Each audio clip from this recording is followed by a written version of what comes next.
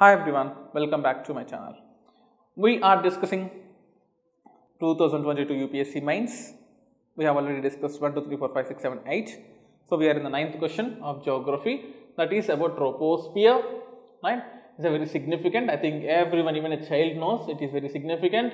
Atmospheric layer determines weather process. This you have to concentrate. Yes, you can prove in a at least half pace drawing this diagram or in a first page drawing this diagram that troposphere is important layer because all the life exists here, all the mountains, plateaus, beauty, plains, you know, uh, you know valleys and sea, seabed, everything lies in the troposphere, all the life uh, is from 0 to 12 to 18 kilometers. What is this 12? It is poles, it is 12 and equator it is 18 kilometers, all the communications, I mean, all the aeroplanes, you know, passenger planes do travel here. We have stratosphere, mesosphere, thermosphere, exosphere. You don't need to mention about that. Concentrate, stick to the topic because don't waste your time. It's better not even draw this uh, diagram. Just mention the names, strato, meso, thermo and exo. So, significance you have to write.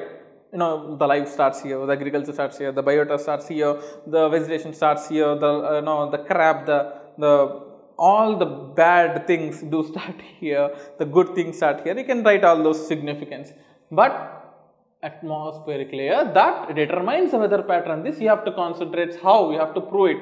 It is not just saying, you have to prove it. For example, 8 kilometers at the poles, 18 kilometers at the equator. It depends 12 to 88 and all, right.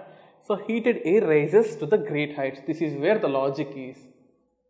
Whenever there is a heat, more heat, air rises up. When air rises up, it goes to the top, uppermost point. That point itself is called as troposphere right. So, here because this is troposphere ending the clouds formation, the rainfall formation is conventional, the movement of wind called as westerlies or easterlies winds, the winds that come down as pressure winds or hot air masses, every phenomena that is happening in troposphere, how it is impacting the climate, how it is impacting know, world uh, trade and not, just trade, rainfall, minerals, everything you can mention about that drops 5 degrees per kilometer. These are the characteristics in the first thing you have to which is minus 45 at the poles, minus 80 at the equator. Those are convective region. This is a convective region. This you have to stress in the next. Style. I am showing that. See, look at here. You are here, right?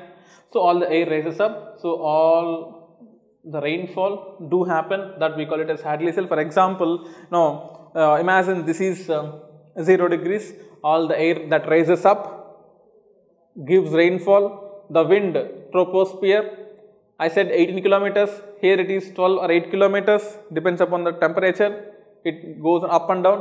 So, from the top, the uppermost, from 18 kilometers, it comes down, it comes down as Hadley cell. So, the wind that again comes back to equator is called as trade winds which is used for trade. Even now it is used for trade, for saying fuel.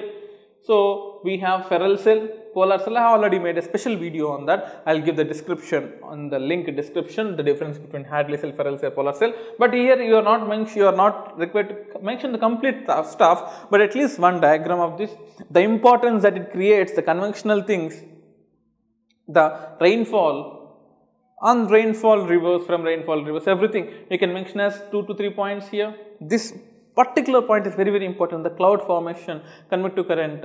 This is the troposphere this you have to mention. This shows that you know the concept. This shows that you can apply to the maximum desired application and show to the examiner that I know the concept, I know the concept which you are focusing on, I know everything, it's just time that is limiting me and I am giving you my answer shortcut. This is how you have to get marks. Right, see, as I said, don't mention about this thing, but one diagram will suffice everything. All these convective currents happen in troposphere.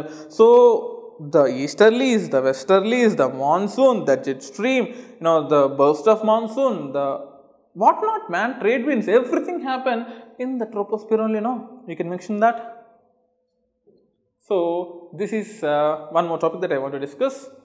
In the 10th video, the last video, I will be discussing on uh, relationship between globalization and new technology. Stay tuned to our channel. Thank you.